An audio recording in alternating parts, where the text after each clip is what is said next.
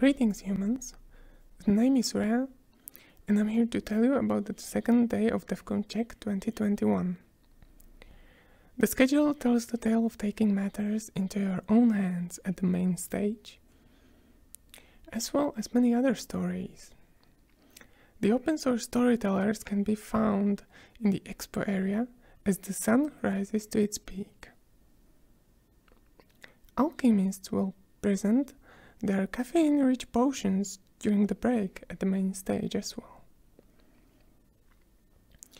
You can also join us at discord.gg slash devconf, where you can find the information about joining this recreation of Faculty of Informatics, our usual venue. I hope that you will enjoy the presentations while I have to get back to slaying dragons.